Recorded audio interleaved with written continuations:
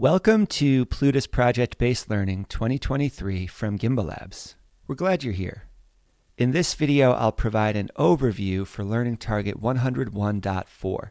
I can set up a local Plutus development environment using Nix and use it to compile a Plutus script. These are the steps we'll follow, but there's something important you need to know about this course. For each step, I'm going to show you how to get started and provide a few tips, but I'm not going to walk through all of the fine details that you'll need to cover at each step. The idea of this project based learning course is to give you places to get started so that you can try things. And if you get stuck, you can always join us at live coding or on Discord to ask questions. To be fair, we picked a tough one to throw you into right now. Experienced Plutus developers will tell you that setting up a local environment for writing Plutus TX might have been one of the hardest things they ever did while learning Plutus. This is one of the reasons why developers are so excited that new languages for writing to Plutus Core are coming online right now. And of course, we'll take a look at two of those languages, Aiken and PluTS, in the next two lessons. Still, we want you to have this option you're in a community with a lot of people who have taken these steps, and we'll be happy to help you if you get stuck. Let's open some links. The first one is to the official Nix site, which we'll use for step one. The next link is to the Plutus apps repository. This is from Input Output HK on GitLab. And finally, the PPBL 2023 Plutus template that we used in lesson 101.3. So let's go step by step. You will know you are successful if you can compile a Plutus file from Plutus TX on your own computer. At the bottom of the page, you can follow along with these steps and also use the embedded links. For step one, just follow the instructions here. Use the download button, choose your operating system and what kind of installation you'd like to create, and read the docs carefully to make sure you get it right. If you are successful, you'll be able to run Nix, dash dash version, and you'll see that Nix is installed. The Nix documentation is very good, and there are some resources on this Learn page that are worth running through, just so you have a basic idea of what Nix is and how it works. Next, we will clone the PPBL 2023 Plutus template from Gimbal Labs.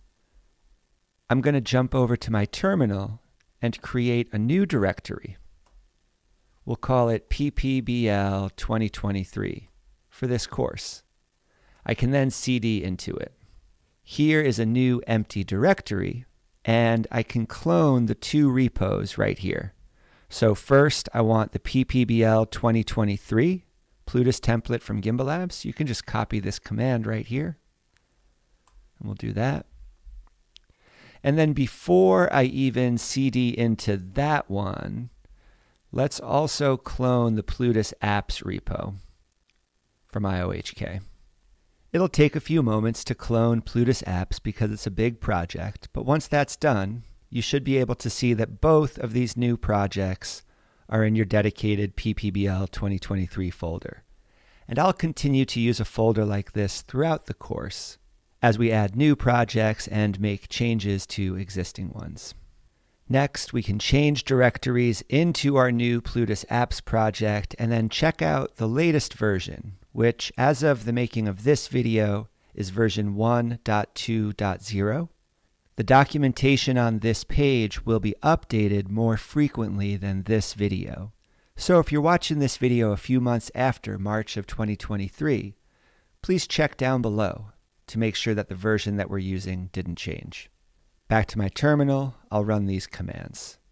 cd into Plutus apps, and then git checkout v1.2.0.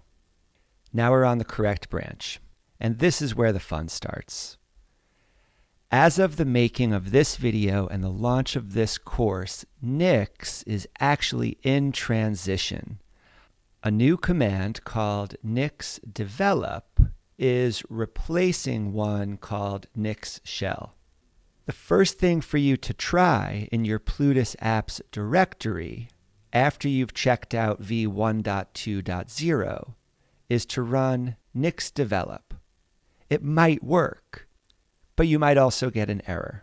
Personally, nix develop doesn't quite work on my setup, and so I have to add this gc don't gc equals 1 in front of my nix develop in order to get it to work. We'll talk more about why this is the case at live coding, and we're always looking for contributors who can help document some of the finer details of Nix, like this one. You can join the team working on some of these details at Gimbal Labs. On some devices, even the new Nix Develop won't work, so we can use an older version, Nix Shell, to temporarily accomplish the same things. Again, this is a moment of transition, not just for Nix, but for the entire Plutus development ecosystem. So we encourage you to try these approaches, and if none of them work, reach out. We'll be ready to help. Whatever approach you end up taking, even if it works, it will take a little time for Plutus apps to get up and running the first time you use it.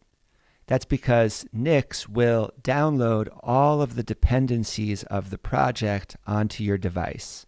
One of the strengths of Nix is how it manages packages so that we can recreate development environments consistently across devices. Let's jump back to my terminal. You can see I'm in my Plutus apps directory at v1.2.0. And I've run this already, so this step won't take too long. Just a moment right there. So this is your goal to get to this point where Nix develop or Nix shell are working. And then once you get there, as you can see, you'll be able to get up and running quickly the second time and beyond.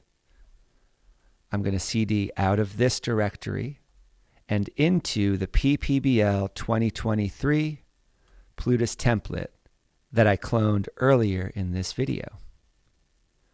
Once inside of the PPBL 2023 Plutus template, within my Nix develop environment, I can run Cabal REPL. And when I do, if everything works successfully, you should see this message. Okay, two modules loaded, always succeeds, compiler. This might look familiar from Demeter.run.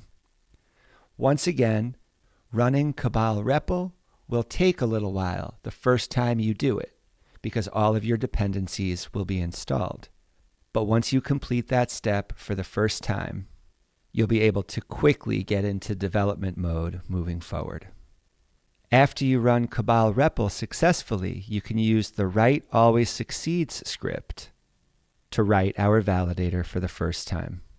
I can press Control D to leave the REPL, Control D to leave Plutus apps, and then I can navigate to the PPBL 2023 template where I can see my output folder, inside of which there's my new always succeeds.plutus script. Let's take a look at it. If you watched the previous lesson about Demeter Run, this result should look the same. If you're seeing this for the first time, congratulations. This is your first Plutus script. And if you got to the point of preparing your development environment locally, you're in great shape now. Now, we still haven't talked about what we can do with Plutus scripts yet. That's coming up in Module 102. And before we get to that point, we're going to look at two more ways to write an always succeeds validator in the languages Aiken and PLU TS. See you in Lesson 5.